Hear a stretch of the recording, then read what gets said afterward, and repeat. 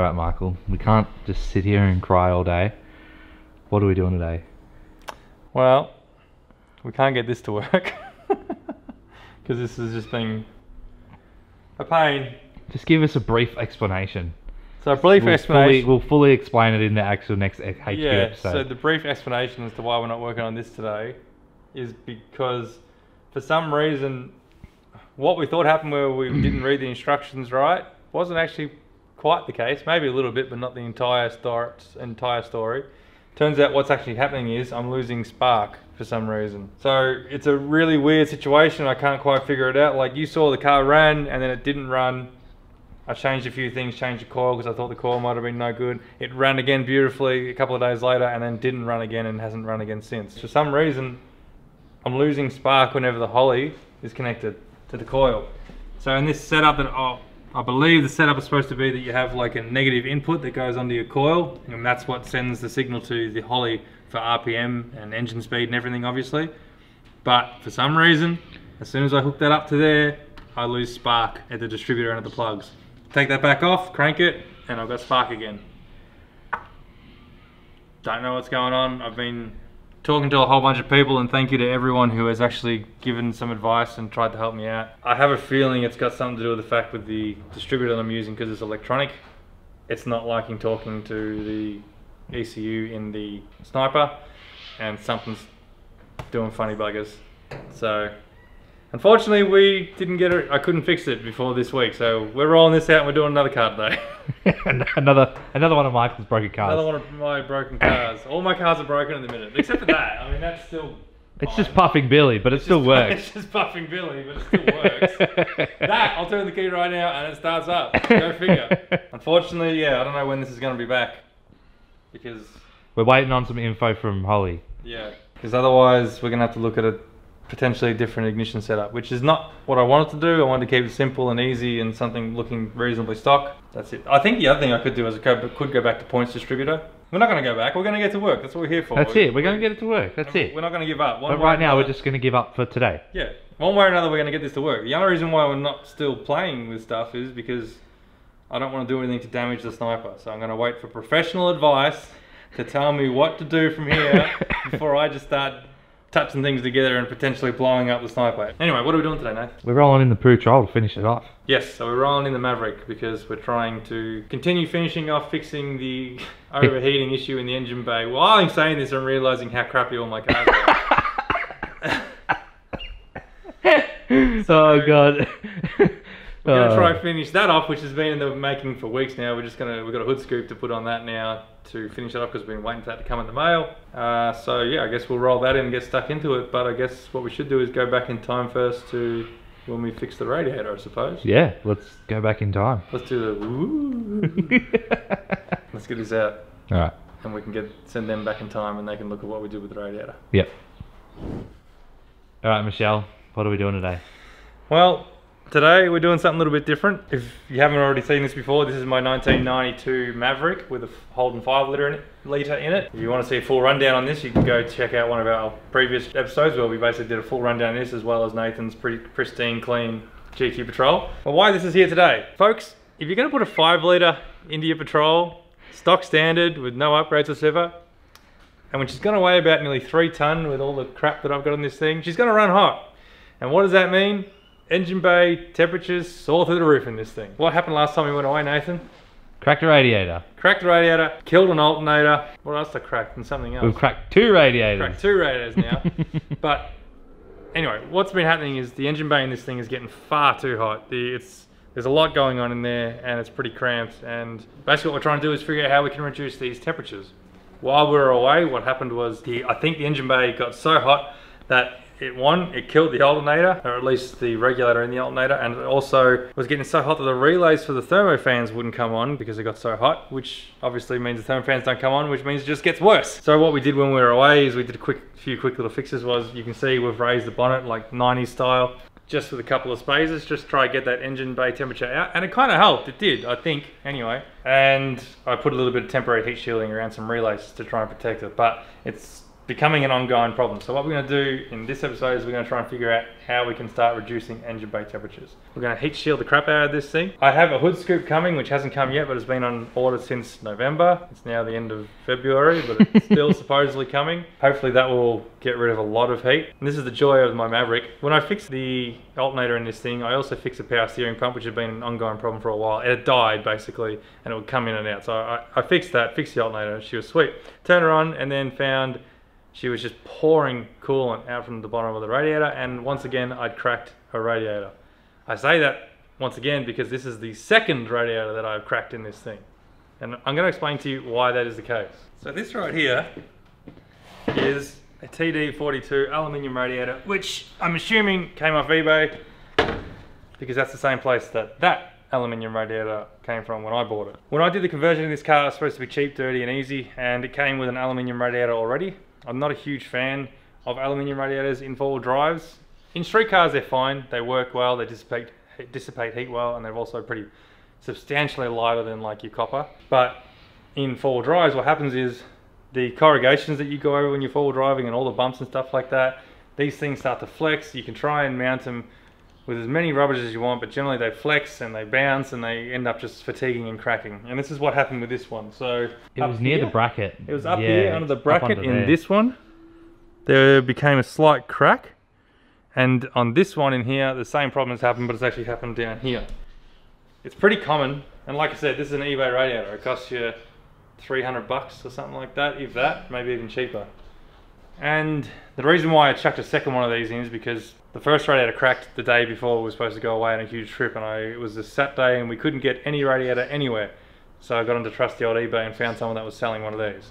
Uh, so we threw it in and I thought it's only a temporary measure.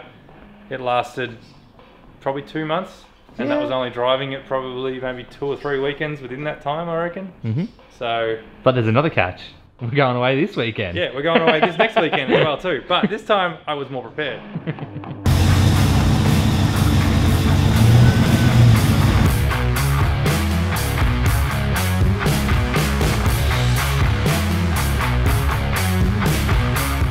Just casually dropping the rad hose. Yeah.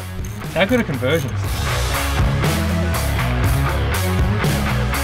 Funny how when you have a glove on, you just go so much harder. Yeah. Ah.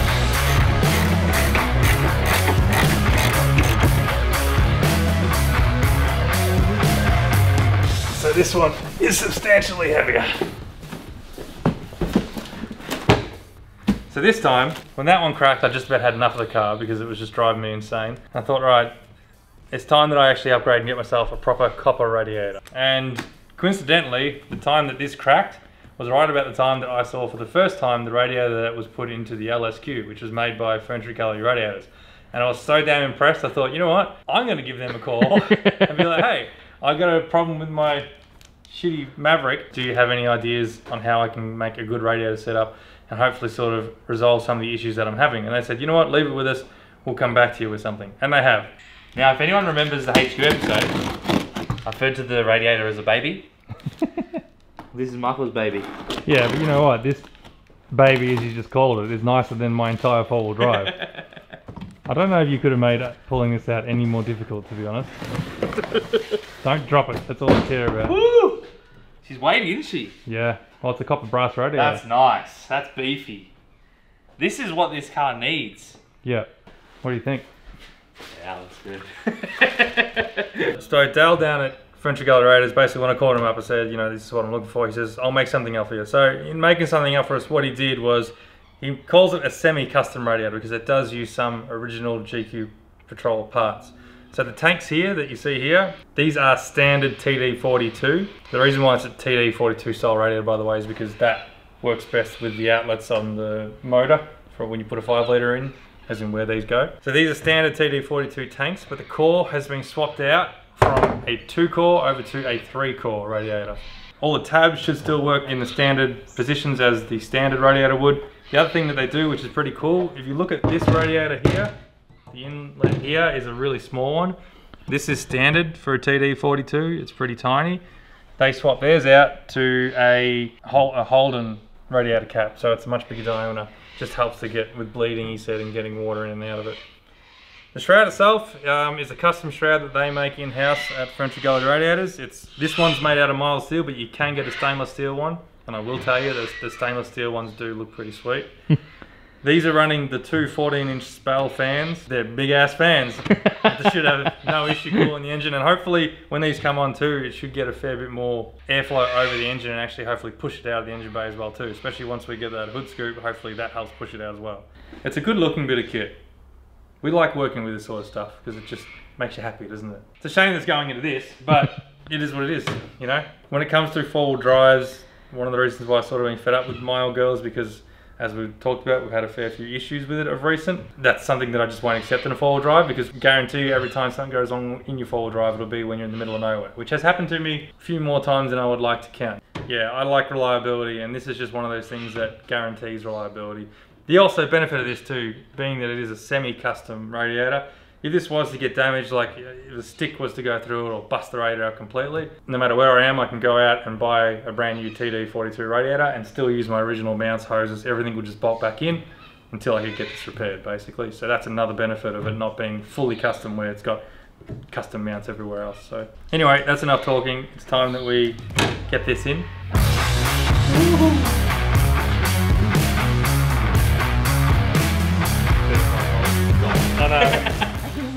Too easy. It's actually narrower than the other one. Look how much room there is. Fit your whole head in. Is that how we gauge things now? We just try Yeah. to fit our head in it. What's going on in there? What's that? Why is my balancer falling off? Yeah. Look how much more space there is now. So much room for activities. Well, that's it. Like that was. it's was a- two the bloody radiator. It's basically a radiator swap over. Yeah. But I'll do the hard hose. No, no, no. We do it one each, don't we? All right. Oh, ah, there we go. I'll do the second hardest hose, Oh, damn it! and then you can do the bottom one. oh, damn it. Alright, so what I'm going to do now is from this wire here, I'm just going to run like a wire to this fan and then wires to this fan. And basically, she should be good to go. Then we can fill it with coolant and start up and bleed it. And then we can look at some heat shielding as well too.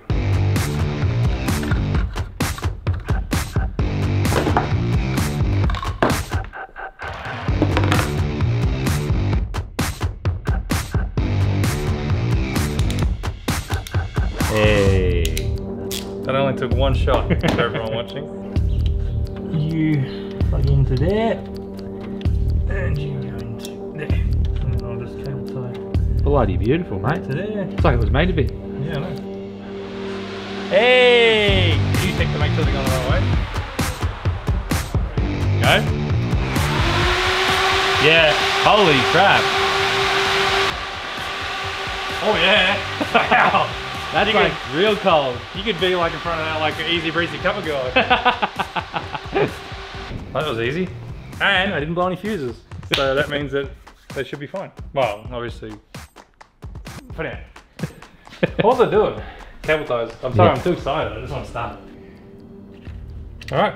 Um, fill it full of coolant and see how she goes. Yeah. Click, click, click, click, click, click, click. That's the technical that we're going to get when it comes to sorting out cooling. My theory is if it looks green, it's good. That's my theory too. Nathan's pretty proud of himself. the correct way to fill your water is by tornadoing it. Just like a cruiser. like a cruiser. it looks so cool. Anyway. That's actually working really well. I know. Well done. A little tornado going on. What are you going to call your tornado? You know they name tornadoes? Mav. Tornado Mav. Tornado Mav. And now we wait. Now we wait, yeah. So I think we're happy with how it's split. I reckon the cooling system's done and we're ready to go on to uh, doing some heating thing and this is going to blow soon.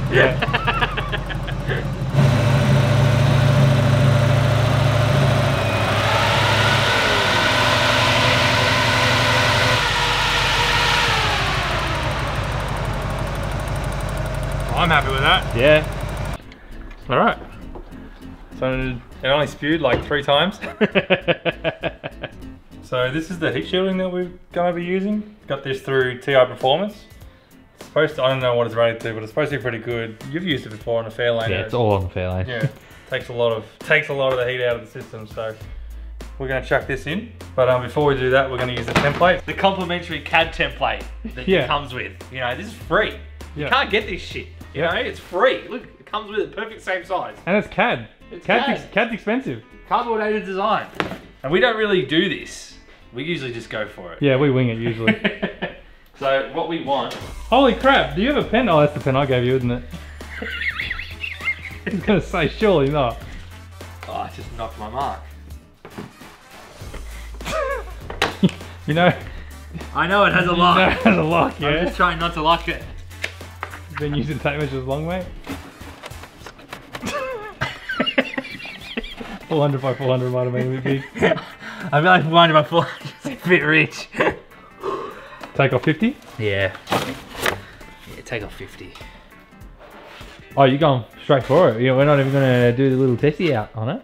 Good enough to make two pieces. Yeah, true. Ow! That was sharp. Yes, I know this isn't going to be the prettiest solution. Yes, I know there's probably better ways of doing this. No, I don't care. this is all very technical. Sharpies. The Milwaukee Texas is just about the best things on this planet. Oh, it does not look pretty. Doesn't it? it's just flapping in the breeze. It works though. Like, Look, it's gonna serve its, it's gonna serve its purpose. Oh, that's alright. You can see it creates that barrier between that and the electronics. And Yeah, and it's gonna shoot. It's gonna shoot the heat up and not over to the side. Hopefully, yeah. So it's in. It's kind of in. But it'll sit there. It's wedged in there and it's cable tied up here. Like I said, it was never going to look pretty. There's really not much I could do to make it look pretty. Um, but it just has to work. That's all, all. That's all I care about. Obviously, yeah, we could wrap the extractors, but they're so hard to get in and out. And I've got them all sealed up and everything because of the exhaust leaks that this thing had was massive. So they're all sealed to the block. So I don't want to pull them off. And it's not just the extractors that are making this engine bay so hot. It's the actual engine. Being that it's the iron block, once it starts to get heat into it, it just can't dissipate it and it just holds onto it for ages. So and also budget. You guys asked you guys asked for budget builds. This is about as budget as you're gonna get. But that's all we can really do. Um, we're waiting on the scoop. yeah, well, hopefully the scoop comes sometime this year.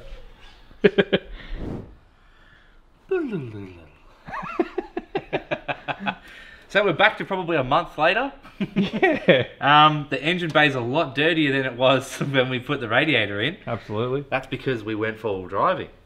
We did. and the car went mint. It stayed nice and cool. Thermo fans were kicking in and out. Uh, I don't think you had any problems overheating. Yeah. And we were driving all day with the like, that real fine dust yeah. and like steep hills all day, It was hot too. and it was hot. But to give you a bit of context of just the difference that it made just in these alone, and obviously with all that, I didn't have any issues with the relays not uh, functioning this time, whereas I used to in the past. So whether that helped or not, or I think the main thing was that the engine bay stayed a lot cooler. So this time forward driving, like I said, it was a really hot day. It was dusty. We were going up steep hills in low gear with not a lot of airflow going over and stuff like that. But they came in perfectly. I saw an average temperature of around 95 degrees, and when it got really hot, when I was really pushing it, I'd get maybe to 100. Whereas previously, when I was just cruising around and going up on a reasonable hill, not even pushing it as hardest, I'd be seeing temperatures of around 115, 110 115 degrees Celsius, obviously.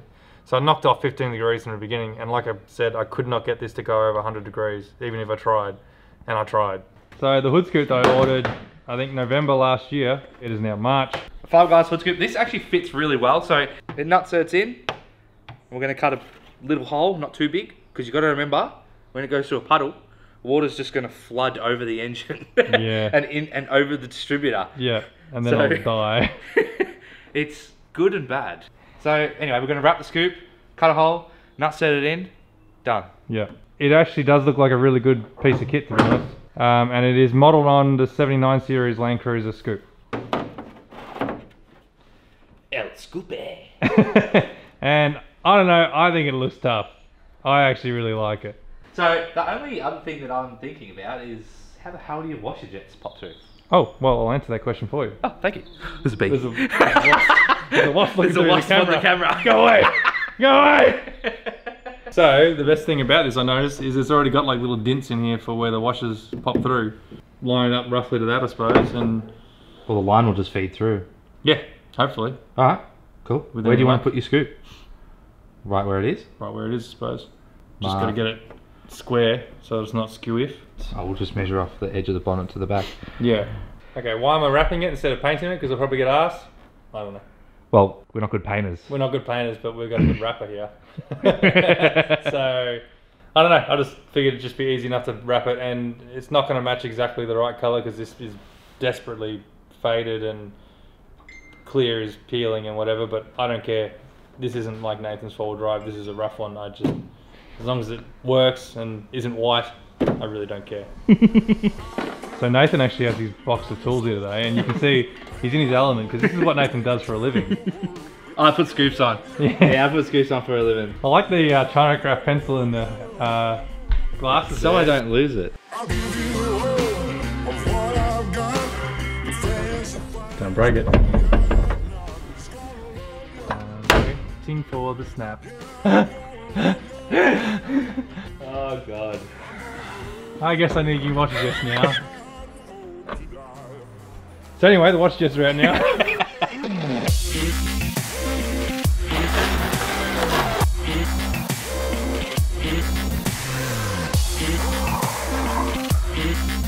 that was a cool shot. that was a cool shot. I like that. I was like, oh, they just chipped the paint right off. oh, look, it's chipping the paint. Oh, no.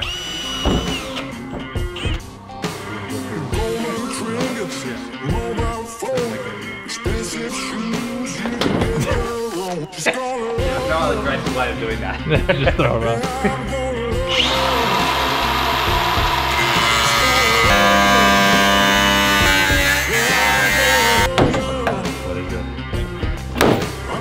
Hey. Wow. Should be right. Good as gold. Good as gold. You won't even see that. This is horrendous.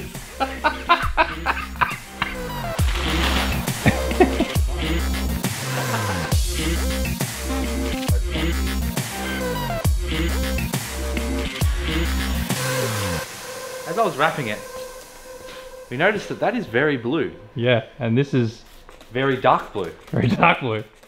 So we've come to the quick realization is maybe we should have got a color match can. So we're going to see it, on- sit it on and see how bad it looks, which we're pretty confident it's going to look bad. and if it does look bad, well, we're getting a color match can and we're working on it tomorrow night. yeah. I have a feeling it's going to look horrible. yep, we got it wrong. Holy shit! I don't know how this that is happened. the darkest blue in the wrap book. Okay. Don't trust Michael when he says, ah, don't worry about it, just get it.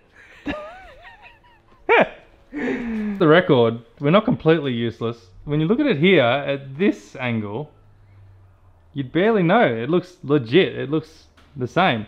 But as soon as you come around the corner, it turns bright blue. what the? I've never seen that before. Go here. Bad. Good. Bad. Oh, well. Good, bad. Good, bad. Sorry. We're not wrapping it today. We're not wrapping it, we're painting it.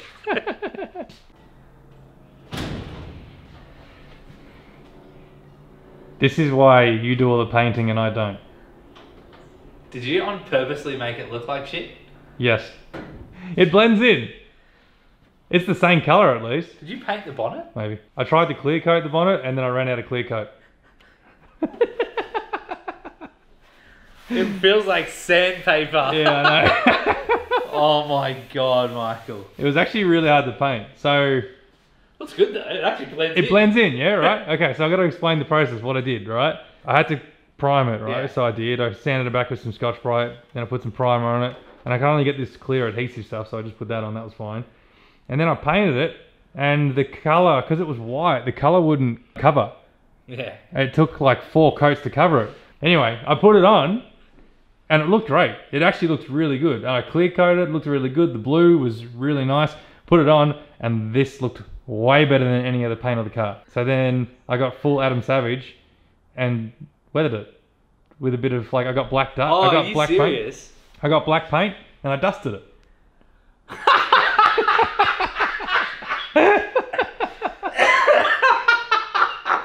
it worked though, Oh didn't it? Oh my god, are you serious? Yeah, but it worked, didn't it?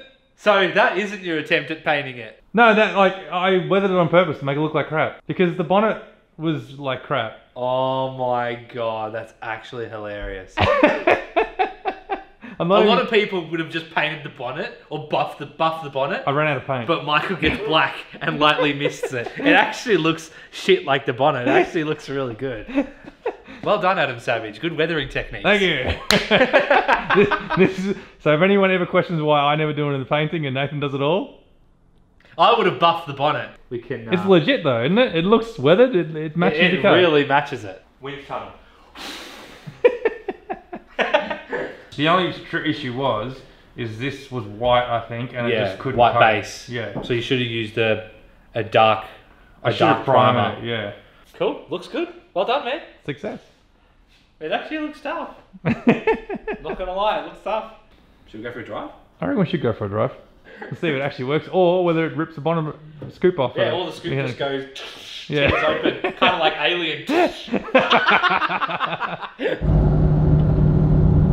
Well, it hasn't flown off yet, so that's a bonus. But it seems to be working. The temperatures are down low. The temperature's at 80 degrees, whereas normally it'd probably be about the 85, 90 at the minute type thing. So I guess that's a that's success. I was more worried about it flying off more than anything else, but it's actually staying really cool. 80 degrees is pretty good. Yeah, it's probably not warm enough now.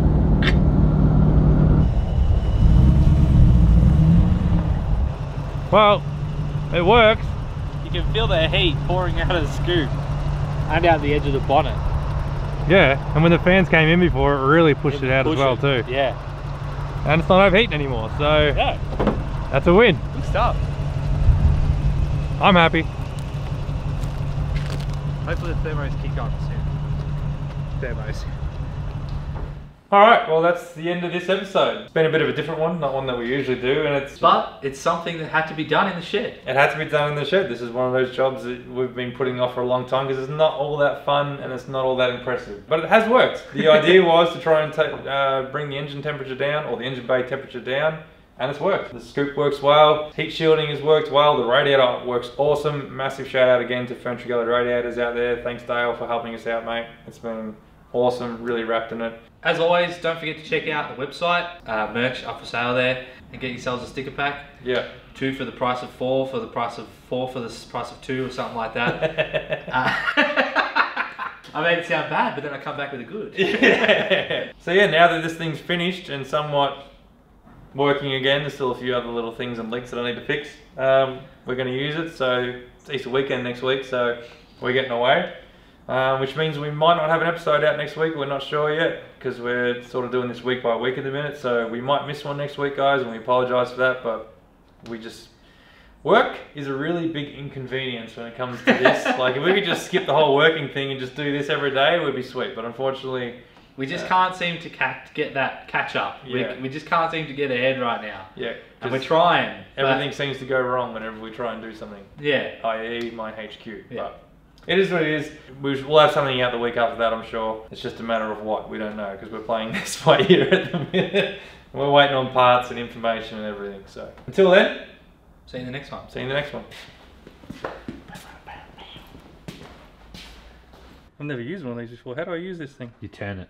I, I know that. it's fancy. It's got a cap thingy lid on it. Pull it up. Hang on. To uninstall Yeah, now- lift lever and turn cap. That's what I did. Yeah.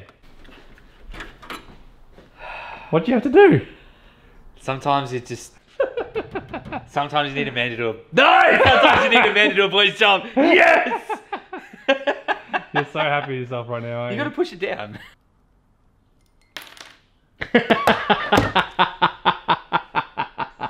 Thanks. Thanks for the support there, Nate. Fan dangled device. Yeah, there's a cap on it. Yeah.